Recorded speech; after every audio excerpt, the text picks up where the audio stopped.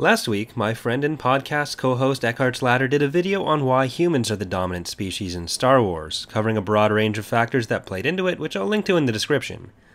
I wanted to build a bit on what he was talking about in that video by diving a bit deeper into a period under the Republic where support for what was effectively human supremacist movements and atrocities committed by them would surpass even the height of the Empire.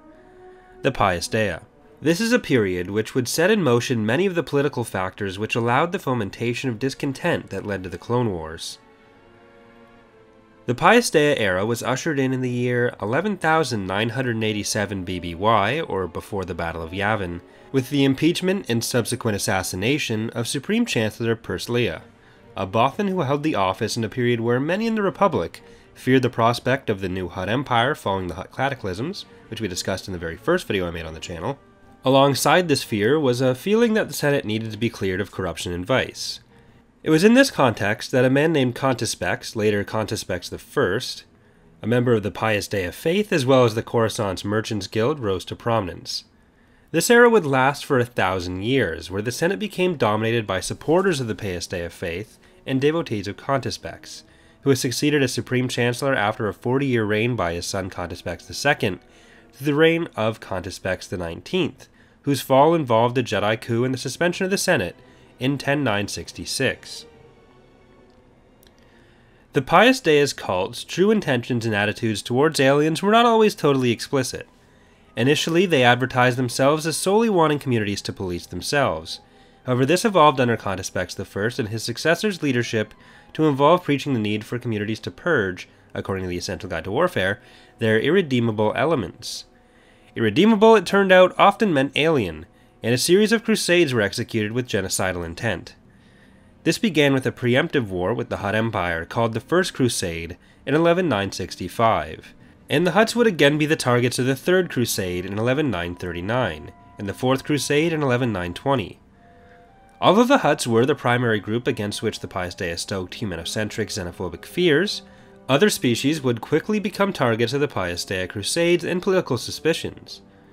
Many aliens were exterminated or driven back from richer core worlds into poorer rim worlds, which the Pius Dea saw as the home to unruly chaos that had to be held back, all fueled by the Pius Dea rallying cry, the goddess wills it. Life within the Pius Dea quickly became filled with witch hunts to expose so-called alien agents. Among their other crusades against alien species were the Seventh or Great Northern Crusades, which targeted Iridonians and Zabrak, and the Twelfth, which involved the Republic glassing the Zaracene homeworld, forcing them into a nomadic lifestyle. This crusade also targeted the Tirasens. The Jedi, so disgusted by the actions of the Pius and the Republic during this period, renounced all of their duties and ties to the Republic in 11933, which was followed by centuries of schism within the Order.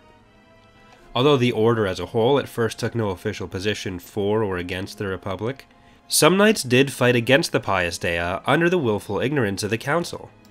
Others would split off from the Order and support the Pius Dea, becoming the Order of the Terrible Glare. Unsurprisingly, the actions of the Pius Dea created many enemies among the galaxy's inhabitants, including some human groups. Alsakan, a world along the Perlemian which had been engaged in intermittent wars and a constant power struggle with Coruscant for nearly 10,000 years, finally seceded from the Republic, along with several other worlds along the Perlemian trade spine, and began the Sixth Alsakan conflict in 11,820s BBY. Many local worlds and alien species across the galaxy gathered around the Alsakan as a focal point, and Alsakan began sponsoring communications between Hutts, Duros, Hergliks, and other disaffected alien groups. 800 years later, when the Crusades had finally stalled, the Jedi became convinced by Kamasi agents to intervene.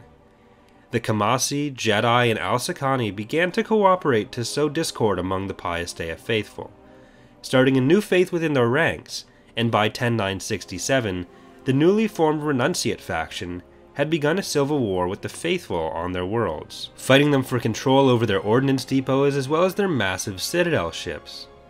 With support for the renunciates being provided by Jedi, Alsakan, and various alien species who had been long targeted by the Pius Dea, including species like the Hutts, Hergliks, and Duros. Also key to the victory of the Renunciates was that the Pius Dea control over the Bureau of Ships and Services was incomplete, Agents of the Bureau, working with the Alliance, were able to input Navicomputer data to the Citadel ships of the Pius Dea, forcing them to jump to unknown empty space, unable to return, essentially leaving a massive armada worth of ancient warships floating inaccessible to the galaxy for millennia, and it was never found during the course of the Star Wars Expanded Universe.